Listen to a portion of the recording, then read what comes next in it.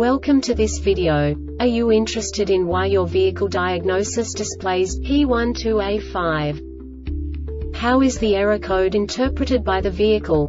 What does P12A5 mean, or how to correct this fault? Today we will find answers to these questions together. Let's do this. First, let's look at the history of diagnostic fault code composition according to the OBD2 protocol, which is unified for all automakers since 2000. We divide the electric system of automobile into the four basic units. Powertrain, body, chassis, network. This distribution is defined in the first character code. If the second character is expressed as zero, it is a standardized error. In the case of numbers 1, 2, 3 it is a more prestigious expression of the car-specific error. The third character specifies a subset of errors. The distribution shown is valid only for the standardized DTC code.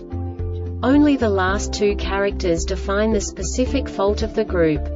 Let's not forget that such a division is valid only if the other character code is expressed by the number 0. Our website airbagreset.sk produces useful videos for you.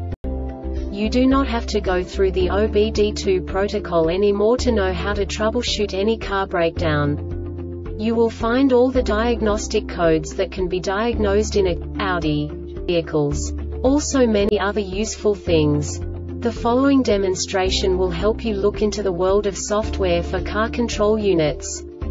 You unbelievably can move the video a bit further. The error code is split into two bytes consisting of 16 bits. One bit is the basic unit that each computer works with.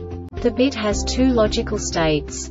0, low level, 1, high level. By combining the first two bits, the basic character of the error code is expressed. The next two bits again determine the second character.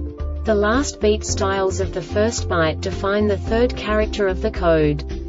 The second byte is composed of a combination of 8 bits. The first 4 bits determine the fourth character of the code. And the combination of the last 4 bits defines the fifth character.